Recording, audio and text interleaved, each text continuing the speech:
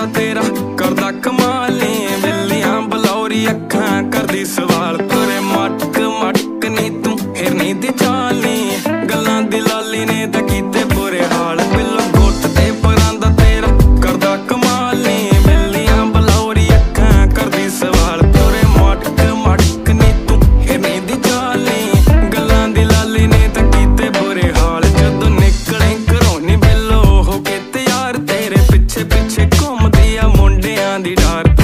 ਨੱਕ ਚ ਕੋਕਾ ਨਹੀਂ ਤੇਰਾ।